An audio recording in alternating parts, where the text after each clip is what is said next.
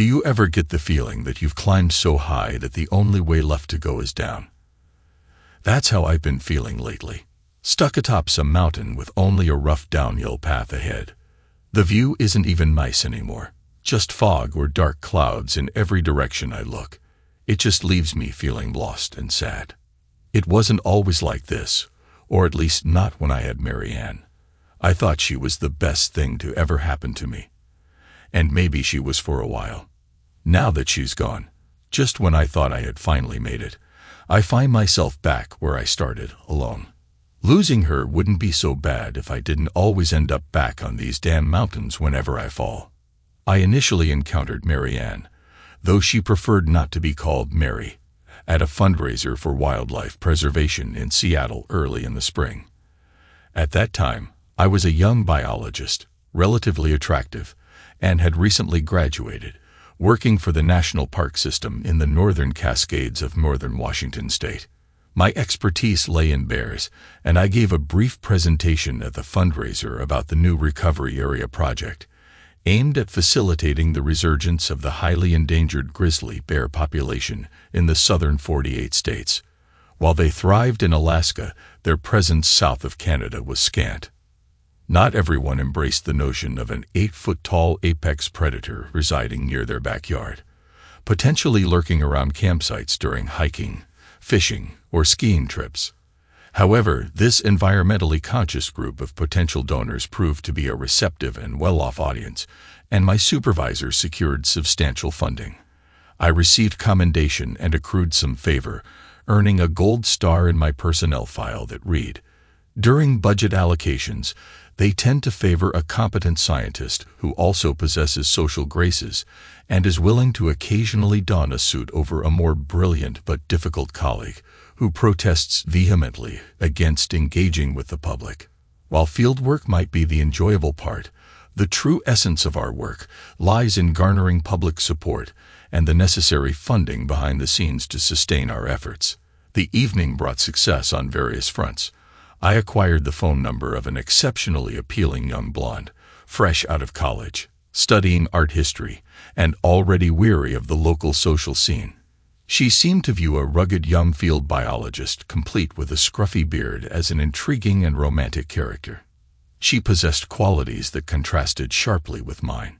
She was assertive to the point of aggression, exceedingly wealthy, and thoroughly disinterested in everything and everyone around her, largely due to her short attention span. In essence, we had little in common, yet that didn't hinder us from enjoying each other's company for a while, particularly in the bedroom. Initially, it was expected to be a brief and harmless romance. We'd have occasional outings, some fun, and then inevitably part ways as she sought someone else to occupy her time more permanently.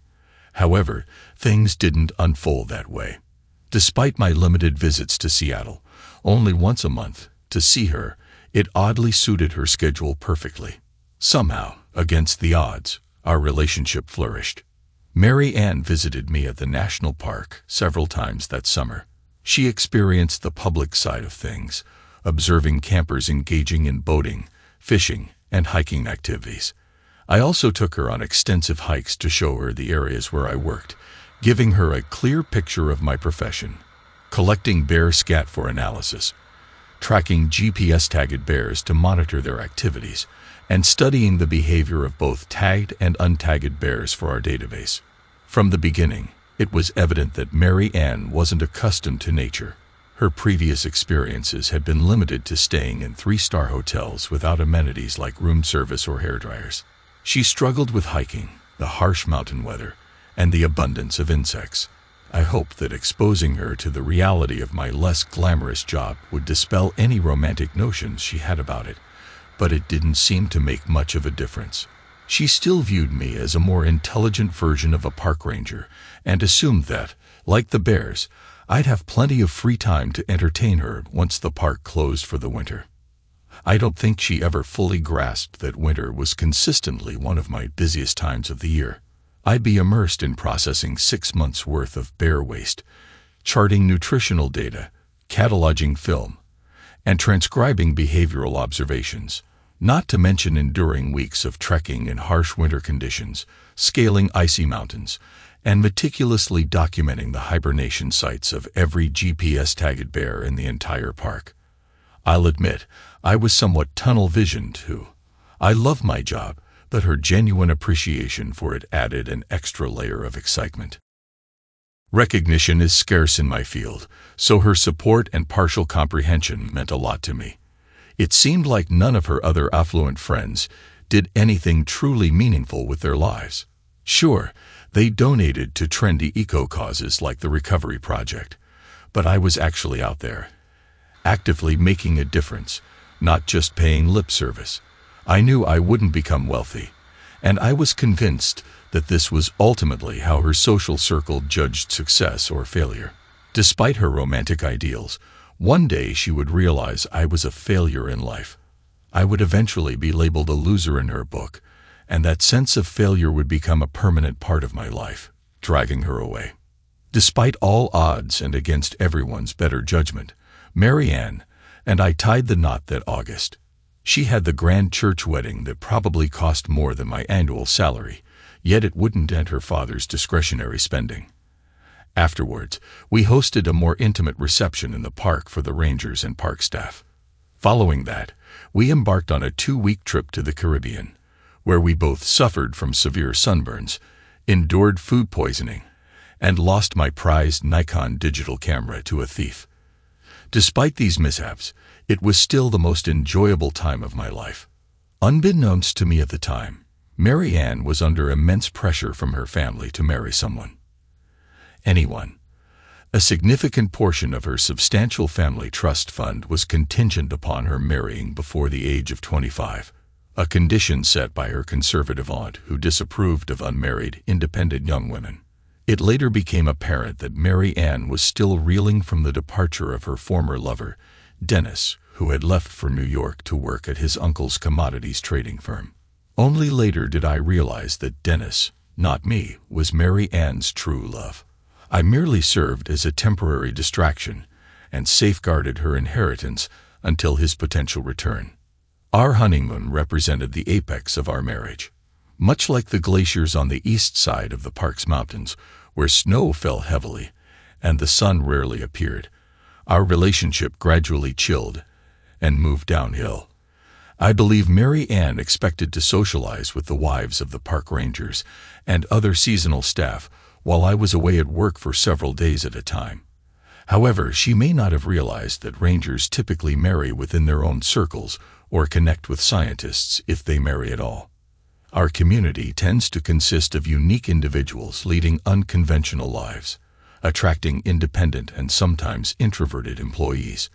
The remaining spouses often work full-time at the park or volunteer at visitor centers. People in the wilderness find fulfilling activities to keep themselves occupied.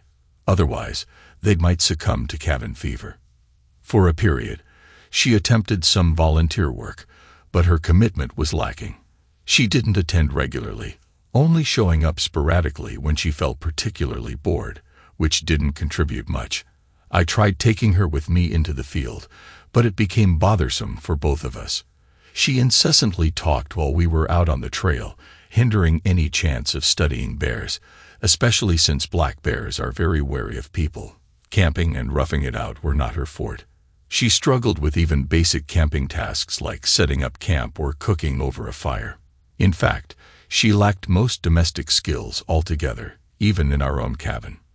Then she narrowly escaped a dangerous encounter with Grumpy Gertie, which extinguished any remaining faint appreciation she may have once had for life in the great outdoors. Late autumn poses one of the highest risks for encountering bears, especially older ones. During this time, they frantically search for food before hibernating for the winter.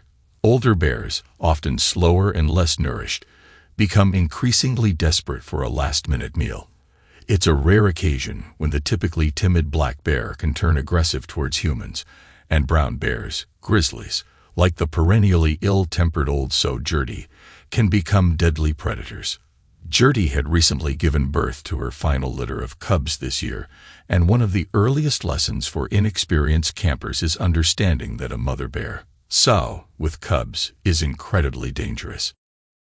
Mary Ann and I were in the midst of crossing a small stream when, from the trees and thick brush, two lively cubs emerged, curious about our presence and eager for a drink.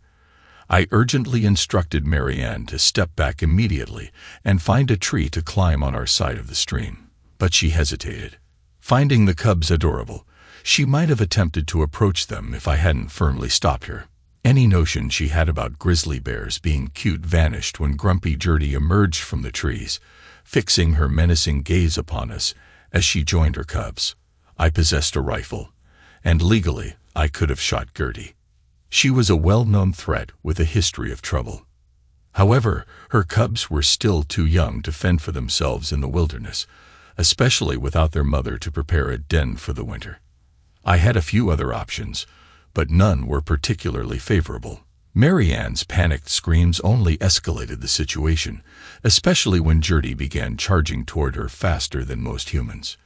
Trying to outrun them isn't effective, especially if you start too late, as Mary Ann did. So I had only one recourse, to intercept Gertie's path and douse her face thoroughly with bear repellent, a potent pepper spray with added deterrence designed to capture a bear's full attention. I never venture from my cabin without it. It did the trick. Gertie reacted poorly to the spray, swiping at me with a force that could have been fatal had I still been upright. Instead, I dropped to the ground. Plain dead, the only sensible response when a bear approaches closely. Usually, they lose interest quickly, preferring not to engage unless desperate for food. Gertie, blinded and in pain from the spray, fled in the opposite direction, howling in anger. Mary Ann never forgave me and seldom ventured far from the safety of the park's living quarters thereafter. It was a harsh and lonely winter, both inside and outside the cabin. By the time spring arrived, our relationship remained frosty, and Mary Ann had spent the long winter mostly drinking and sulking right from the moment she woke up. Despite the poor TV reception in our area, even the new satellite dish barely provided her with any distraction. As early summer approached, she began spending more time back in Seattle, resuming her usual socializing on the cocktail circuit. By autumn, I was lucky to see her three or four days a month, and our intimate life had dwindled to nearly nothing.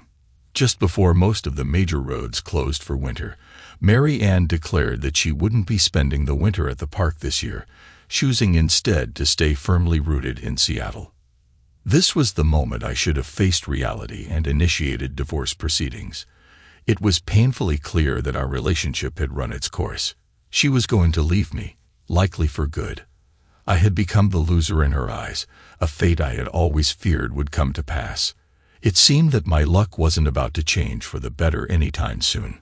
During that extended winter, I kept myself entertained by tallying how frequently my wife's photograph graced the society section of the Seattle Times.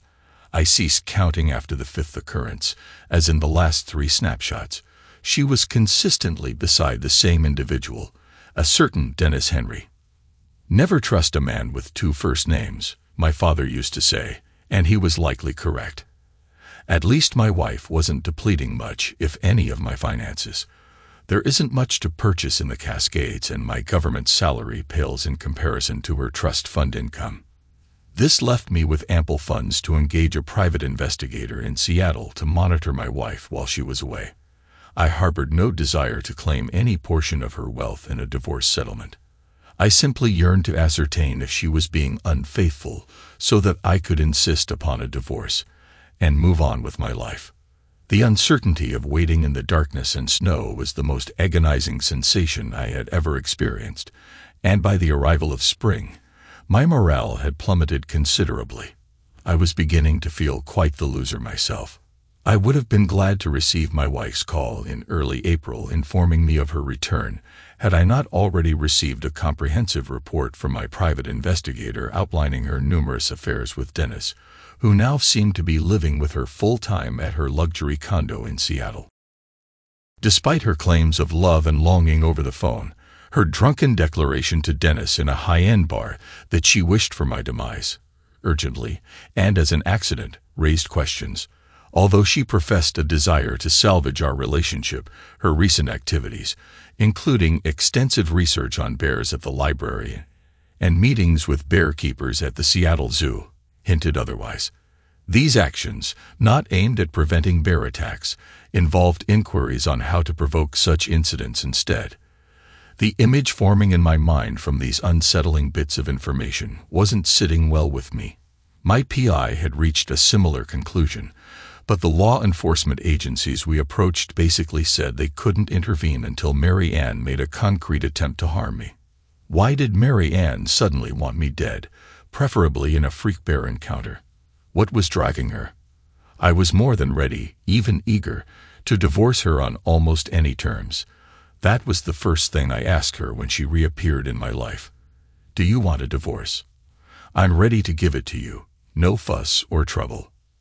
I won't take a penny of your money. You're clearly not happy in this life, and we're both just making each other miserable.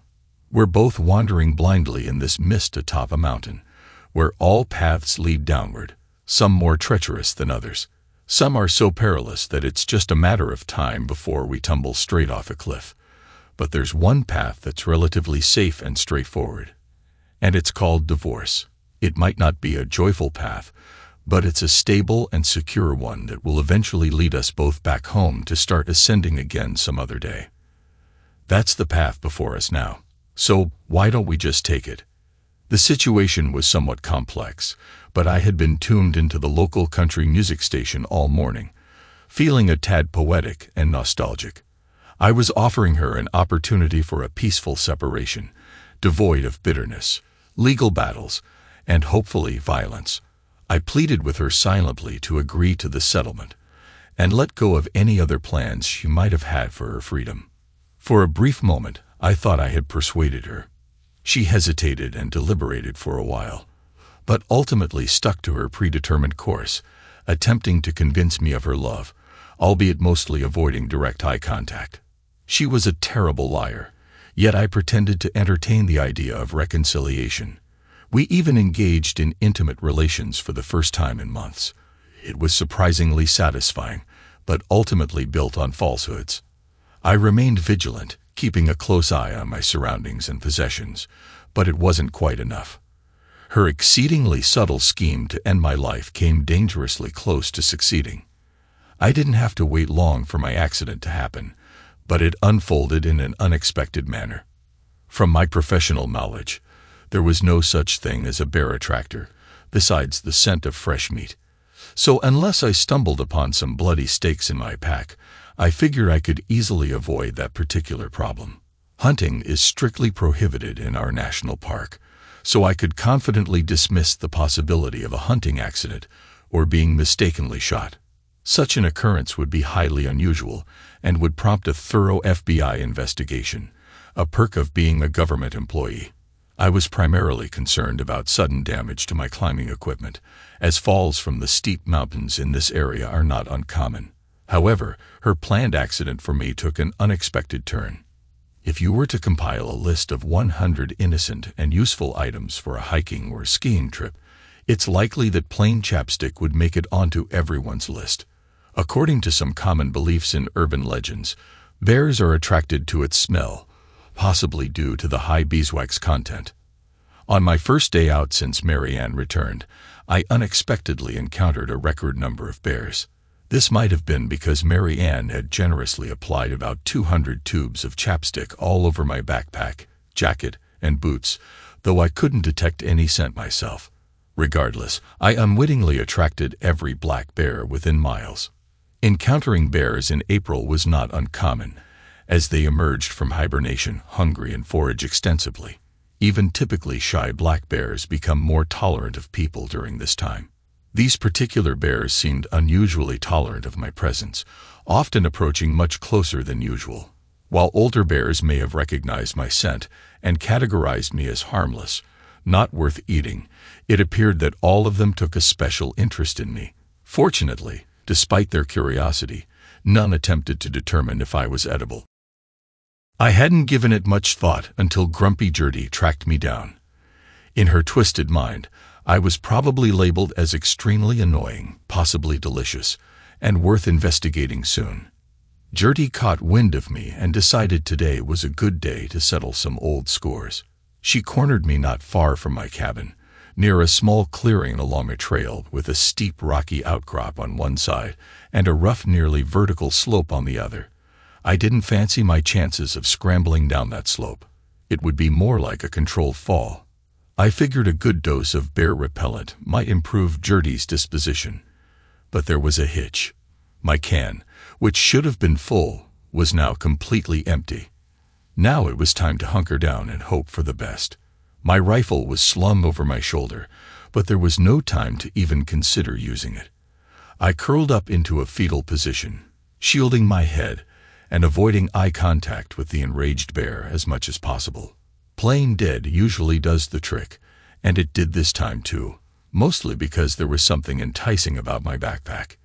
It seemed she wanted that as her first course. Gertie had a lot of fun at first, pounding my motionless body and trying to rip the backpack off my shoulders. I had to move carefully, but I managed to free my hands from the straps just enough for Gertie to completely rip off my backpack with a few more blows and throw it down a steep, almost sheer slope. Then she was faced with a choice, either eat me or rush after my backpack, but the backpack seemed much more attractive to her, and she rushed after it. My back was slightly scratched, I had a wound on my left hip, and there were bite marks on the back of my arms and on my neck where she tried to wring my neck. But fortunately, the backpack mostly protected me there. I didn't wait for her to return and quickly left before Gertie showed the slightest desire to follow me. I stopped to take a refreshing bath with ice water to wash off any remaining odors and treat my foot, although I suspected that whatever fragrance was used for labeling, it was mostly on my backpack. I cleaned my shoes clean of dirt, but noticed that my jacket, getting wet, became surprisingly waterproof, so I reluctantly buried it. Everything else seemed to be in decent condition. I slowly hobbled home and didn't see any more bears. I hadn't fully decided how to handle my unfaithful and murderous wife yet, but I concluded that my first step would be to locate a ranger who could then contact either the park police, the county sheriff, or a federal marshal, or all three. Crimes in national parks can become complicated quickly. They say park rangers are never around when you need them, except for lighting illegal fires or hunting in the wrong places. But there was one here and now, waiting in front of my cabin. I had unfortunate news for him, and it seemed he had even worse news for me.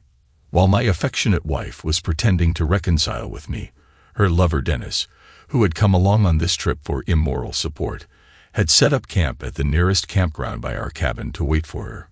He was no novice camper and was doing fine until Mary Ann, his lover, arrived at his camp shortly after I left for my daily hike, carrying a bag with about 200 empty chapstick tubes. She didn't want to discard the evidence here. It would raise suspicion as to why she needed so much lip protection. So she emptied them into a trash bag to take back to Seattle for discreet disposal. She never got the chance. Grumpy Gertie found them first. My memory of the exact sequence of events is a bit fuzzy, but according to the rangers investigating the incident and an FBI team that arrived later in the day, Mary Ann went straight to her lover as soon as I was out of sight of our cabin. They were in Dennis's tent, completely undressed, enthusiastically celebrating what they thought would be their success.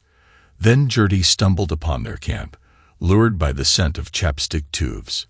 If they had stayed quiet, they might have been okay. But Mary Ann, terrified of bears, especially Gertie, screamed loudly. Gertie, being mean and perhaps more intelligent than the average bear, recognized Mary Ann's scream and decided to seek revenge and a meal. After satisfying her hunger temporarily, she followed the scent trail to my cabin and eventually tracked me down. Fortunately, there was at least one witness who survived to confirm the important details. Dennis managed to survive the brutal attack, although he was badly mauled and left permanently disabled. His ability to play dead likely saved his life until Gertie left.